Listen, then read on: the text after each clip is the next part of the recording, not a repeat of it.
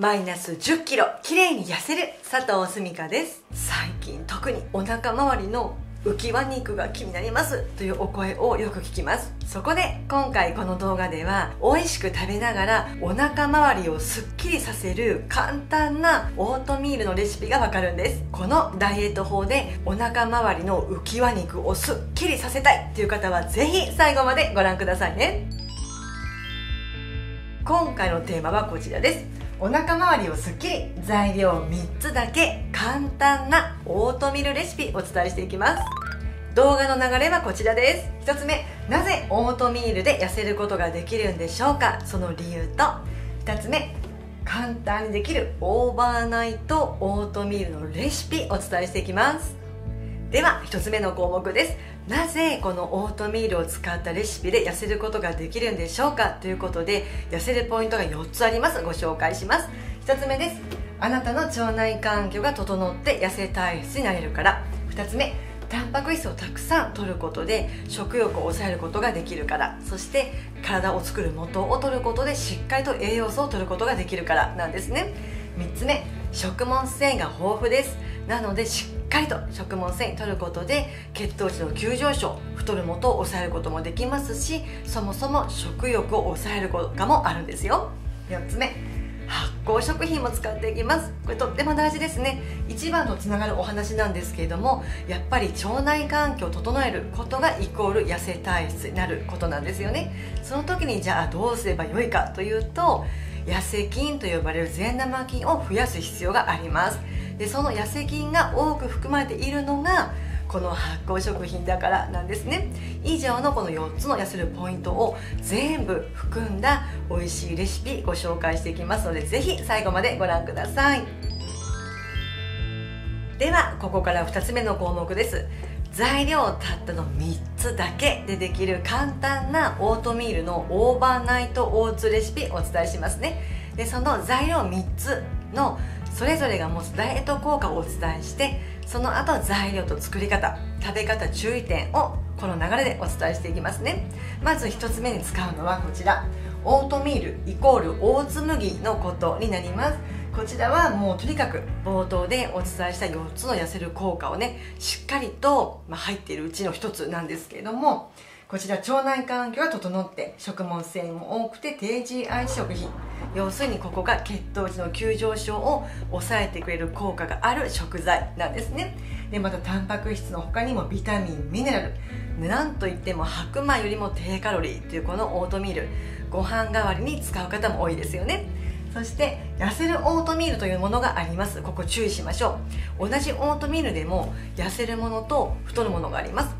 で先に太るものはどんなものかというと添加物たっぷりの甘い味付けがしてあるような人工甘味料とか香料とか余計なものがいっぱい入ってるものはやめましょう。では逆にどんなオートミールを痩せるんでしょうかということでタイプがあります。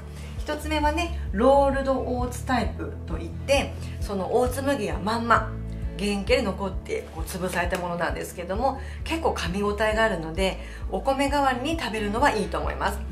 今度2つ目クイックオーツタイプ。これはある程度砕いた後のオートミールなので粒子がま細かくなってるわけですよね。そうするとやはり今回お伝えするような美味しい、まあ、ある意味こうデザート的な時にはねこれを使うのが私は好みです。でもあなたのお好みで選んでいいです。で最後ここです。できれば有機栽培のオーガニックタイプのやはりオートミールがいいです。やはりここでね農薬をたっぷりと使った良くないオートミールを食べてしまうとやはりですね腸や肝臓がね消化吸収、まあ、分解するのにすごく疲れちゃうわけですよね、まあ、そもそも体にも良くないっていうのもお分かりの通りです。ですからしっかりとここでどうせね召し上がるならやっぱりこの痩せるタイプのオートミールをきちんと食材を選ぶ段階で正しいものを使う。これも痩せるポイントの一つになるんですよ。で例えば数字で分かりやすくお伝えするとオートミール 30g は白米と比べて1つ目なんとカロリーが半分以下なんですね。そして2つ目糖質に関しては3分の1程度しかないというやはりこれはですねダイエット向けの食材と言われる理由がここでも分かりますよね。では2つ目の食材はこちらです。甘酒を使います。これもベースは無添加のできれば手作りの甘酒がおすすめですがもしね作れないもしくはねそんな時間がないっていう方は売ってますがそのね無添加のものを選びましょうね。ここで間違っても人工甘味料とかお砂糖がたっぷり入った甘酒は買わないように気をつけましょう。天然の甘みで召し上がっていただきたいんです。まあ、イコール痩せる甘酒なんですよね。でこちらはねもう発酵食品です。もうこれが大事。先ほどお伝えした痩せ菌が入っているのは発酵食品でしたよね。多く含んでいるわけです。そして甘酒ってすごいんですよ。脂肪をどんどん燃やしてくれたり結果基礎代謝を上げてくれたりとかあとなんとね同時に2種類の食物繊維が取れちゃいます。水溶性と不溶性ですね。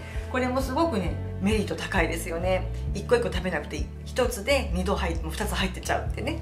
でこちら便秘改善にもなりますのでやっぱりお腹すっきりすごく大事。そして腸内環境を整えるためのオリゴ糖もしっかり入ってますからここもねたあの取っていただきたいところなんですよね。そして何といっても飲む点滴と呼ばれているのがこの甘酒ですよね。もうそれだけ栄養価が高いわけです。痩せるためには栄養不足では痩せることができません。なぜかというと痩せるホルモンを作る材料がないと痩せませんからね。ですからしっかりと味付けはこの甘酒しかも発酵しているもの無添加を使っていくんですよ。では最後の材料3つ目はこちらです。豆乳ヨーグルトを使っていきます。こちらももうもちろんね先ほどと同じダイエット効果があるんですけども、まあ、腸内環境血糖値タンパク質ですね。で脂肪の蓄積を抑えてくれますしコレステロールがゼロなのがこの豆乳ヨーグルトになります。でもちろんねあの乳製品のヨーグルトも悪くはないです。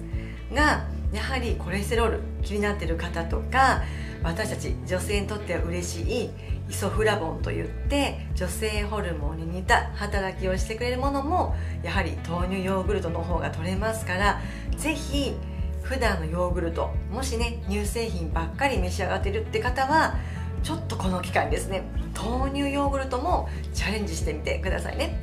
私は手作りしてます。でこの豆乳ヨーグルトのね作る動画もアップしてますからこの動画見終わりましたら豆乳ヨーグルトも見てもらいたいんですがやはりですね最近スーパーでもこの豆乳ヨーグルトよーく見かけるようになりました。結構いろんな種類がありますからぜひ豆乳ヨーグルト使ってみてくださいね。ではここからこのオーバーナイトオーツのレシピの材料作り方注意点についてお伝えします。まず材料発酵オートミールです。2人分で作りました。オートミールが 60g 無添加の甘酒 300ml そして豆乳ヨーグルトが 200g この材料を入れるための保存容器を1つご準備くださいね。ではここから作り方に移ります。こちらです。1つ目。このオートミール。私はですねあのクイックオーツタイプをよく使います。でねあのおじやとかお料理系には先ほどロールドオーツといってそのまんまの結構粒の大きいものを使っています。もうここはねお好みで OK です。なのでこのオートミールと無添加のこの甘酒をねこの容器に入れるんです。ですぐに食べるのではなくって overnight oats ですからね一晩置くんですね。で目安は8時間です。冷蔵庫で保存しましょう。2つ目出来上がったこの overnight oats ですね。一晩置いたこのオートミールと甘酒なんですね。この部分を豆乳ヨーグルトですね。その後翌朝混ぜて召し上がっていただきたいんですがここでねやはりこのオーバーナイトオーツも、まあ、豆乳も冷たいんですよね。やっぱり冷蔵庫で保存してるわけですからでそのような冷たいものを突然ね空腹時にパクパクっと食べてしまっては NG ですね。やっぱり腸が冷えてしまいますし、まあ、そもそもどのタイミングで食べたとしてもやっぱり冷えは冷えですからね。冷たいものはねダイエット向きではないんです。そこで私はどうするかというと軽くね混ぜた後にレンチンします。あの菌が死なない程度に。もう軽くです。もしくはちょっと常温なるまで置いておくのも OK です。要は冷たいまま食べないでね。っていうことなんですよね。そしてあとはねあのお好みでトッピングでフルーツ添えてもねこれめちゃくちゃ美味しいんですよね。例えばバナナとかベリー系とかですねりんごとかこういった形で、まあ、食べ過ぎは NG ですけれどもやはりフルーツ添えるとまたさらにねデザート感覚でもめちゃくちゃ美味しく召し上がっていただけますので是非試してみてくださいね。そして痩せる食べ方注意点ですけれどもまずはね量ですね。もうどんなに痩せ効果の高いこのレシピだったとしても食べ過ぎには NG ですよね。でしかもここはあのお二人分とあの準備しましたのでお一人で2回とか3回に分けて召し上がっても良いかなって思うような結構食べ応えがある量になっています。そして冷たいままでは食べてはいけませんよ。でしたね。この2つが注意点になります。さあいかがだったでしょうか？今回の動画まとめポイントはダイエット効果の高いオートミールを使った無添加の美味しいレシピお伝えしました。ポイントは冷たいままではなくて温めることと量を守りましょうでしたね。是非もう簡単にできてとっても美味しいので試してみてくださいね。この動画のお話以上になります。役に立ったなと思っていただけましたらいいねボタンやチャンネル登録いただきますともとっても嬉しいです。それでは次回の動画でお会いしましょう。